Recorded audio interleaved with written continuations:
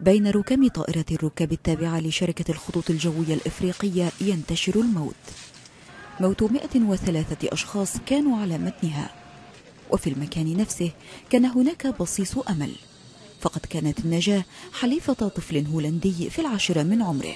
كسور مركبة في في القدمين الاثنين.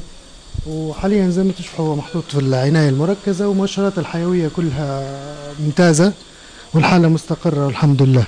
السلطات الهولندية أكدت أنها ستجري الترتيبات اللازمة بالتنسيق مع السلطات الليبية من أجل التواصل مع الصبي ومن أجل نقل أكثر من 60 من مواطنيها من بين ضحايا الطائرة المنكوبة.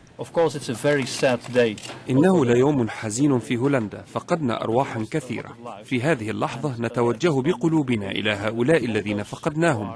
إنه يوم حزين جدا. رئيس الوزراء عبر أيضا عن عدم وضوح الكثير من التفاصيل حول مسببات الحادث.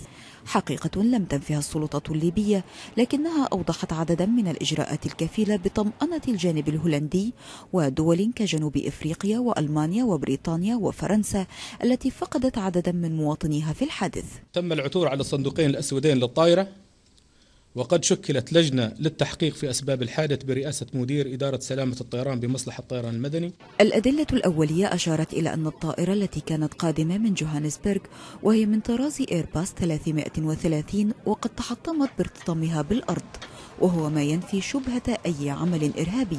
الظروف الجوية من حيث مدى الرؤية وسرعة الرياح كانت جيدة.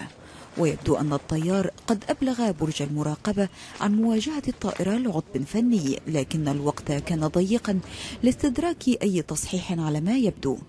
لجنة التحقيق قد تضع خرائط وكالة الفضاء والطيران الأمريكية ناسا في الحسبان والتي أظهرت أن سحابة رماد بركاني قد وصلت شمال إفريقيا. هناء عوني بي بي سي.